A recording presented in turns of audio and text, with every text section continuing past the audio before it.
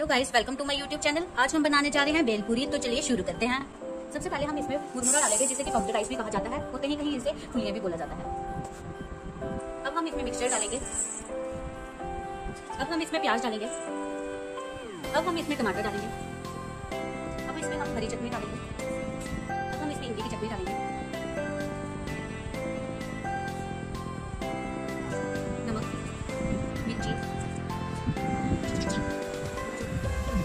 जीरा पाउडर चाट मसाला। अब हम इसे अच्छे से मिक्स करेंगे।